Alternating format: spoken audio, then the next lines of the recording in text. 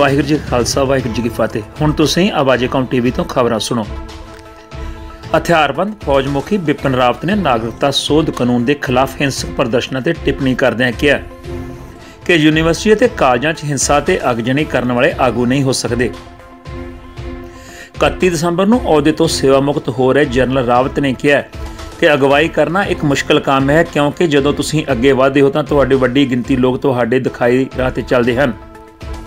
ਉਹਨਾਂ ਕਿਹਾ ਹੈ ਕਿ ਇਹ ਵੇਖਣ ਨੂੰ ਸੌਖਾ ਲੱਗਦਾ ਹੈ, ਪਰ ਅਮਲ 'ਚ ਬਹੁਤ ਮੁਸ਼ਕਲ ਕੰਮ ਹੈ। ਕਿਉਂਕਿ ਤੁਹਾਡੇ ਪਿੱਛੇ ਇੱਕ ਵੱਡੀ ਭੀੜ ਹੈ। ਰਾਵਤ ਨੇ ਬਿਨਾਂ ਕਿਸੇ ਯੂਨੀਵਰਸਿਟੀ ਦਾ ਨਾਂ ਲੈਂਦਿਆਂ ਕਿਹਾ ਕਿ ਅਗਵਾਈ ਦੀ ਸਮਰੱਥਾ ਲੋਕਾਂ ਨੂੰ ਗਲਦਸ਼ਾ 'ਚ ਲੈ ਜਾਣ ਦੀ ਨਹੀਂ ਹੈ। ਉਹਨਾਂ ਕਿਹਾ ਕਿ ਅੱਜ ਜਦੋਂ ਵੱਡੀ ਗਿਣਤੀ ਯੂਨੀਵਰਸਿਟੀ ਤੇ ਕਾਲਜਾਂ ਦੀ ਅਗਵਾਈ ਹੇਠ ਹਿੰਸਕ ਪ੍ਰਦਰਸ਼ਨ ਵੇਖਦੇ ਹਾਂ, ਤਾਂ ਇਸ ਨੂੰ ਅਗਵਾਈ ਨਹੀਂ ਕਿਹਾ ਜਾ ਸਕਦਾ। ਹਰਿਆਣਾ ਸਰਕਾਰ ਦੀ ਚੀਫ ਸੈਕਟਰੀ ਕਿਸ਼ਨੀ ਆਨੰਦ ਅਰੋੜਾ ਨੇ ਸਪਸ਼ਟ ਕਿਹਾ ਹੈ ਕਿ ਪੰਜਾਬੀ ਰਾਜ ਸਰਕਾਰ ਦੀ ਦੂਜੀ ਭਾਸ਼ਾ ਹੈ। ਅਤੇ ਇਸ ਨੂੰ ਬਦਲ ਕੇ ਇਹ ਦਰਜਾ ਤੇਲਗੂ ਭਾਸ਼ਾ ਨੂੰ ਦੇਣ ਦਾ ਸਵਾਲ ਹੀ ਪੈਦਾ ਨਹੀਂ ਹੁੰਦਾ। ਇਸ ਬਾਰੇ ਕੁਝ ਅਖਬਾਰਾਂ 'ਚ ਦਿੱਲੀ ਸਿੱਖ ਗੁਰਦੁਆਰਾ ਪ੍ਰਬੰਧਕ ਕਮੇਟੀ ਦੇ ਪ੍ਰਧਾਨ ਮਨਜਿੰਦਰ ਸਿੰਘ ਸਿਰਸਾ ਤੇ ਪੰਜਾਬ 'ਚ ਪੰਜਾਬੀ ਸਹਿਤ ਸਭਾਵਾਂ ਤੇ ਹੋਰ ਆਗੂਆਂ ਦੇ ਜੋ ਬਿਆਨ ਛਪੇ ਹਨ, ਉਹਨਾਂ 'ਚ ਰਤੀ ਭਰ ਵੀ ਸੱਚਾਈ ਨਹੀਂ ਹੈ ਦਹਾਕੇ ਦੇ ਅੰਤਮ ਸੂਰਜ ਗ੍ਰਹਿਣ ਨੂੰ ਹਜ਼ਾਰਾਂ ਲੋਕਾਂ ਨੇ ਦੇਖਿਆ ਤੇ ਇਸ ਬ੍ਰਹਮੰਡੀ ਘਟਨਾ ਦੇ ਗਵਾਹ ਬਣੇ। ਵੀਰਵਾਰ ਨੂੰ ਜਦ ਧਰਤੀ ਅਤੇ ਸੂਰਜ ਦਰਮਿਆਨ ਚੰ드ਰਮਾ ਦੇ ਆ ਜਾਣ ਨਾਲ ਸੂਰਜ ਦਾ ਇੱਕ ਹਿੱਸਾ ਦਿਖਾਈ ਦਿੱਤਾ, ਜਿਸ ਨੂੰ ਰਿੰਗ ਆਫ ਫਾਇਰ ਵੀ ਕਹਿੰਦੇ ਨੇ, ਦੇਸ਼ ਭਰ ਦੇ ਹਜ਼ਾਰਾਂ ਲੋਕ ਨੇ ਇਸ ਘਟਨਾ ਨੂੰ ਵੇਖਿਆ। ਹਾਲਾਂਕਿ ਉੱਤਰ ਭਾਰਤ 'ਚ ਬੱਦਲ ਛਾਏ ਰਹਿਣ ਕਾਰਨ ਜ਼ਿਆਦਾਤਰ ਲੋਕ ਸੂਰਜ ਗ੍ਰਹਿਣ ਨੂੰ ਨਹੀਂ ਵੇਖ ਸਕੇ। ਅਮਿਤ ਸ਼ਾਹ ਨੇ ਵਿਰੋਧੀ ਧਿਰਾਂ ਕਾਂਗਰਸ ਤੇ ਆਮ ਆਦਮੀ ਪਾਰਟੀ ਨੂੰ ਜੰਮ ਕੇ ਨਿਸ਼ਾਨਾ ਬਣਾਇਆ।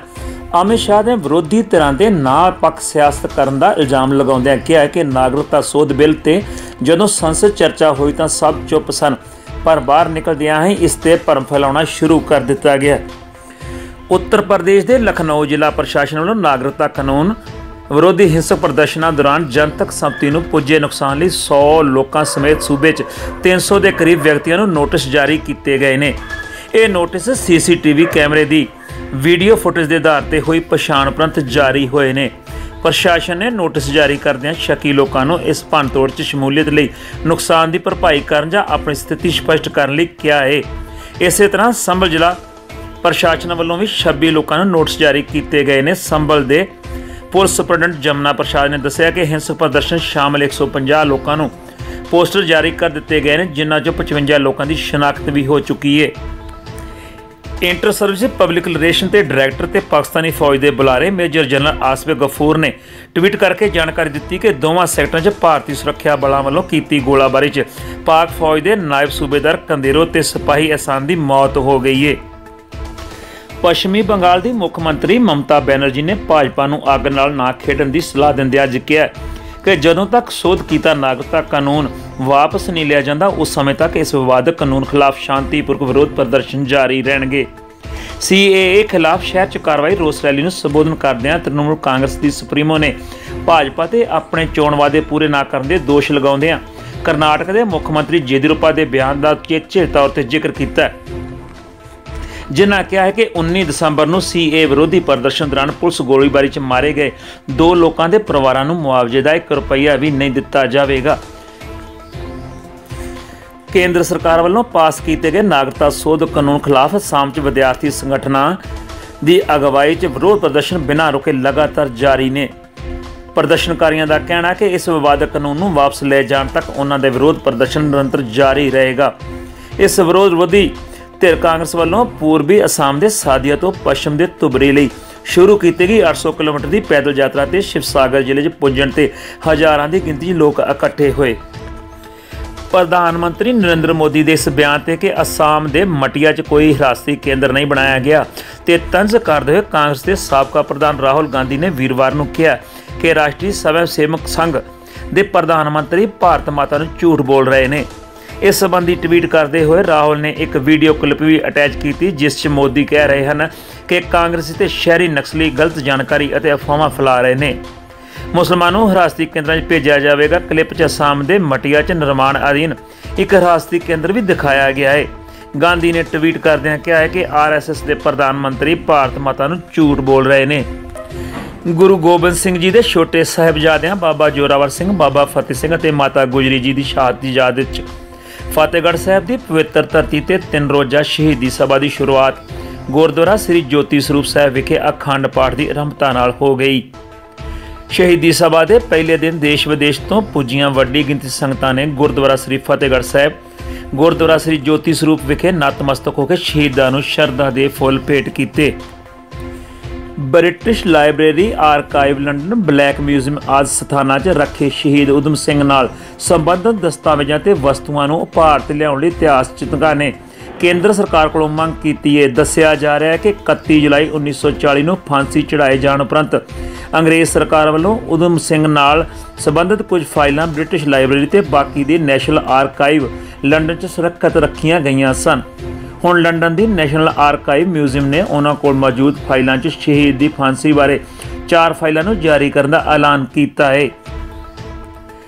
ਮੱਸਿਆ ਦੇ ਦਿਹਾੜੇ ਤੇ ਅੱਜ ਗੁਰਦੁਆਰਾ ਸ੍ਰੀ ਕਰਤਾਰਪੁਰ ਸਾਹਿਬ ਵਿਖੇ 1301 ਸ਼ਰਧਾਲੂ ਮੱਥਾ ਟੇਕਣ ਪਹੁੰਚੇ। ਕੜਾਕੇ ਦੀ ਠੰਡ ਦੇ ਬਾਵਜੂਦ ਵੀ ਸ਼ਰਧਾਲੂਆਂ ਵੱਲੋਂ ਗੁਰਦੁਆਰਾ ਸਾਹਿਬ ਦੇ ਦਰਸ਼ਨਾਂ ਲਈ ਵੱਡਾ ਉਤਸ਼ਾਹ ਪਾਇਆ ਗਿਆ ਲੁਧਿਆਣਾ ਤੋਂ ਗਏ ਸ਼ਰਧਾਲੂਆਂ ਨੇ ਕੀਰਤਨ ਕੀਤਾ। ਜ਼ਿਕਰਯੋਗ ਹੈ ਕਿ ਭਾਰਤ ਪਾਕਿਸਤਾਨ ਸਮਝੌਤੇ ਮੁਤਾਬਕ ਇੱਕ ਦਿਨ ਵਿੱਚ 5000 ਸ਼ਰਧਾਲੂ ਜਾ ਸਕਦੇ ਨੇ, ਪਰ ਗੁਰਪੁਰਬ ਜਾਂ ਕਿਸੇ ਹੋਰ ਸਮਾਗਮ ਤੇ 10000 ਸ਼ਰਧਾਲੂ ਵੀ ਜਾ ਸਕਦੇ ਨੇ। ਪਰ ਹੁਣ ਤੱਕ ਇਹ ਟੀਚਾ ਪੂਰਾ ਨਹੀਂ ਹੋ ਸਕਿਆ। ਫਿਰ ਵੀ ਸਭ ਤੋਂ ਵੱਡੀ ਗਿਣਤੀ ਵਿੱਚ 15 ਦਸੰਬਰ ਨੂੰ 1962 ਸ਼ਰਧਾਲੂ ਗੁਰਦੁਆਰਾ ਸਾਹਿਬ ਦਰਸ਼ਨ ਕਰਨ ਪਹੁੰਚੇ ਸਨ।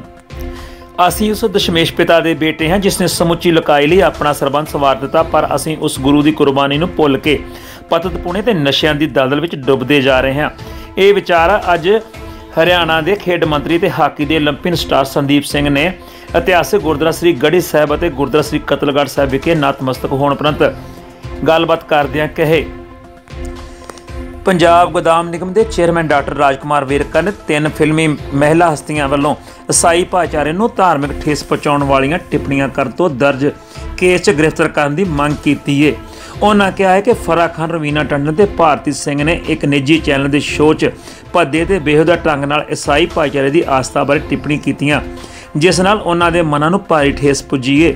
ਉਹਨਾਂ ਕਿਹਾ ਹੈ ਕਿ ਇਸ ਬਾਰੇ ਥਾਣਾ ਅਜਨਾਲਾ ਵਿੱਚ ਤਿੰਨਾਂ ਖਿਲਾਫ ਕੇਸ ਦਰਜ ਹੋ ਚੁੱਕਾ ਹੈ ਤੇ ਪੁਲਿਸ ਨੇ ਪੇਸ਼ ਹੋਣ ਲਈ ਨੋਟਿਸ ਵੀ ਭੇਜ ਦਿੱਤੇ ਨੇ। ਪਾਕਿਸਤਾਨ ਦੇ ਫੌਜ ਮੁਖੀ ਜਨਰਲ ਕਮਰ ਜਾਵੇਦ ਬਾਜਵਾ ਨੇ ਕਿਹਾ ਹੈ ਕਿ ਅੱਜ ਸ਼ਾਮ ਸਮੇਂ ਦ ਨੇਸ਼ਨ ਬਿਊਰੀ ਵਧੇਰੇ ਸਹੀ ਸਾਬਤ ਹੋ ਰਹੀ ਹੈ। ਇਸ ਸਿਧਾਂਤ ਅਨੁਸਾਰ ਧਰਮ ਦੇ ਆਧਾਰ ਤੇ ਦੇਸ਼ ਵੱਖ-ਵੱਖ ਹੋਣੇ ਚਾਹੀਦੇ ਹਨ। ਬਾਜਵਾ ਨੇ ਕਿਹਾ ਕਿ ਦੋ ਦੇਸ਼ਾਂ ਦੇ ਸਿਧਾਂਤ ਦੇ ਆਧਾਰ ਤੇ ਪਾਕਿਸਤਾਨ ਬਣਾਉਣ ਦੀ ਕਾਇਦੇ ਆਜ਼ਮ ਮੁਹੰਮਦ ਅਲੀ ਜਨਾਹ ਦੀ ਸੋਚ ਦਾ ਅਸੀਂ ਕਿੰਨਾ ਵੀ ਧੰਨਵਾਦ ਪ੍ਰਗਟ ਕਰੀਏ, ਉਹ ਘੱਟ ਹੋਵੇਗਾ। ਉਹਨਾਂ ਨੇ ਦਾਅਵਾ ਕੀਤਾ ਕਿ ਘੱਟ ਗਿਣਤੀਆਂ ਸਮੇਤ ਸਾਰੇ ਪਾਕਿਸਤਾਨੀ ਮੁਸ਼ਕਲ ਸਮੇਂ ਵਿੱਚ ਇਕੱਠੇ ਹੋਏ ਨੇ। ਦੱਸਣਯੋਗ ਹੈ ਕਿ ਪਾਕਿਸਤਾਨ ਪਹਿਲਾਂ ਹੀ ਕਹਿ ਚੁੱਕਿਆ ਹੈ ਕਿ ਉਹ ਭਾਰਤ 'ਚ ਗੈਰ ਕਾਨੂੰਨੀ ਤਰੀਕੇ ਨਾਲ ਰਹਿ ਰਹੇ ਪਾਕਿਸਤਾਨੀ ਮੁਸਲਮਾਨਾਂ ਨੂੰ ਵਾਪਸ ਸਵੀਕਾਰ ਨਹੀਂ ਕਰੇਗਾ। ਆਮ ਆਦਮੀ ਦੇ ਪਾਰਟੀ ਪ੍ਰਧਾਨ ਅਤੇ ਸੰਗਰੂਰ ਤੋਂ ਸੰਸਦ ਮੈਂਬਰ ਭਗਵੰਤ ਮਾਨ ਵੱਲੋਂ ਚੰਡੀਗੜ੍ਹ ਵਿਖੇ ਮੀਡੀਆ ਕਰਮੀਆਂ ਨਾਲ ਕੀਤੇ ਦੁਰਵਿਹਾਰ ਦੇ ਚਲਦਿਆਂ ਅੱਜ ਸੰਗਰੂਰ ਦੇ ਪੱਤਰਕਾਰ ਭਾਈਚਾਰੇ ਵੱਲੋਂ ਰੈਸਟ ਹਾਊਸ ਵਿਖੇ ਇੱਕ ਹੰਗਾਮੀ ਮੀਟਿੰਗ ਸੱਦੀ ਗਈ। ਮੀਟਿੰਗ ਦੌਰਾਨ ਪ੍ਰਿੰਟ ਅਤੇ ਇਲੈਕਟ੍ਰੋਨਿਕ ਮੀਡੀਆ ਦੇ ਵੱਖ-ਵੱਖ ਪੱਤਰਕਾਰਾਂ ਵੱਲੋਂ ਇਸ ਘਟਨਾ ਨੂੰ ਲੈ ਕੇ ਆਪਣੇ ਵਿਚਾਰ ਰੱਖੇ ਗਏ। ਪੱਤਰਕਾਰ ਭਾਈਚਾਰੇ ਵੱਲੋਂ ਭਗਵੰਤ ਮਾਨ ਵਿਰੁੱਧ ਨਖੇਦੀ ਮਤਾ ਪਾਸ ਕਰਨ ਦੇ ਨਾਲ ਨਾਲ ਆਮ ਆਦਮੀ ਪਾਰਟੀ ਦੇ ਸੁਪਰੀਮੋ ਅਤੇ ਦਿੱਲੀ ਦੇ ਮੁੱਖ ਮੰਤਰੀ ਅਰਵਿੰਦ ਕੇਜਰੀਵਾਲ ਨੂੰ ਇੱਕ ਮੰਗ ਪੱਤਰ ਭੇਜ ਕੇ ਮੰਗ ਕੀਤੀ ਗਈ ਕਿ ਇਸ ਘਟਨਾ ਨੂੰ ਲੈ ਕੇ ਉਹ ਭਗਵੰਤ ਮਾਨ ਵਿਰੁੱਧ ਸਖਤ ਨੋਟਿਸ ਲੈਣ।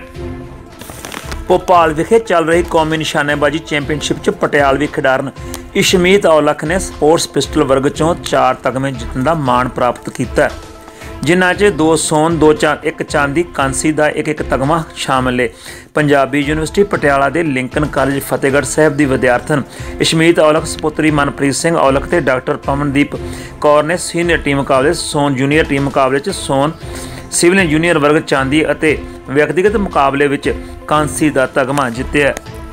ਭਾਰਤੀ ਕਪਤਾਨ ਵਿਰਾਟ ਕੋਹਲੀ ਨੂੰ ਵਿਜ਼ਡਨ ਕ੍ਰਿਕਟ ਅਲਾਰਮੈਂਟ ਨੇ ਚਾਰ ਹੋਰ ਖਿਡਾਰੀਆਂ ਦੇ ਨਾਲ ਦਹਾਕੇ ਦੇ ਸਰਵੋਤਮ ਕ੍ਰਿਕਟਰਾਂ ਦੀ ਸੂਚੀ ਵਿੱਚ ਸ਼ਾਮਲ ਕੀਤਾ ਹੈ। ਕੋਹਲੀ ਤੋਂ ਇਲਾਵਾ ਦੱਖਣੀ ਅਫਰੀਕਾ ਦੇ ਡੇਲ ਸਟੇਨ ਅਤੇ ਏਬੀਡੀ ਵਿਲੀਅਰਸ ਆਸਟ੍ਰੇਲੀਆ ਦੇ ਸਟੀਵ ਸਮਿਥ ਅਤੇ ਮਹਿਲਾ ਕ੍ਰਿਕਟ ਦੀ ਨਾਮੀ ਹਰਫਨਮੌਲਾ ਐਲਿਸ ਪੈਰੀ ਇਸ ਸੂਚੀ ਵਿੱਚ ਸ਼ਾਮਲ ਨੇ। ਨਾਗਰਿਕਤਾ ਸੋਧ ਕਾਨੂੰਨ ਨੂੰ ਲੈ ਕੇ ਦੇਸ਼ ਭਰ 'ਚ ਜਾਰੀ ਵਿਰੋਧ ਪ੍ਰਦਰਸ਼ਨਾਂ ਵਿਚਕਾਰ ਭਾਜਪਾ ਨੇ ਪਾਕਿਸਤਾਨ 'ਚ ਹਿੰਦੂਆਂ ਨਾਲ ਭੇਦਭਾਵ ਦੇ ਸਬੂਤ ਦੇ ਤੌਰ ਤੇ ਇੱਕ ਵੀਡੀਓ ਸਾਹਮਣੇ ਰੱਖੀ ਏ। ਅਸਲ 'ਚ ਭਾਜਪਾ ਆਈਟੀਐਸਐਲ ਦੇ ਇੰਚਾਰਜ ਅਮਿਤ ਮਾਲਵੀਏ ਨੇ ਪਾਕ ਕ੍ਰਿਕਟਰ ਸ਼ੋਏਬ ਅਖਤਰ ਦਾ ਇੱਕ ਵੀਡੀਓ ਰੀਟਵੀਟ ਕੀਤਾ ਹੈ, ਜਿਸ 'ਚ ਪਾਕਿਸਤਾਨ ਦੇ ਦਿੱਗਜ ਗੇਂਦਬਾਜ਼ ਦੱਸ ਰਹੇ ਨੇ ਕਿ ਕਿਸ ਤਰ੍ਹਾਂ ਪਾਕ ਖਿਡਾਰੀ ਦਾਨਿਸ਼ ਕਨੇਰੀਆ ਨੂੰ ਹਿੰਦੂ ਹੋਣ ਕਾਰਨ ਅਲੱਗ-ਅਲੱਗ ਰੱਖਿਆ ਜਾਂਦਾ ਹੈ। ਅਖਤਰ ਨੇ ਇਹ ਵੀ ਦੱਸਿਆ ਕਿ ਕੁਝ ਖਿਡਾਰੀ ਦਾਨਿਸ਼ ਨਾਲ ਖਾਣਾ ਖਾਣ ਤੋਂ ਵੀ ਇਤਰਾਜ਼ ਪ੍ਰਗਟ ਕਰਦੇ ਨੇ। ਇਸ ਦੇ ਨਾਲ ਹੀ ਖਬਰਾਂ ਖਤਮ ਹੋਈਆਂ। ਆਗਿਆ ਦਿਓ।